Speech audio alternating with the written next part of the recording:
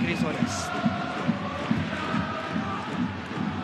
一番遠いサイド。そのまま狙ってくるか？折り返したのか？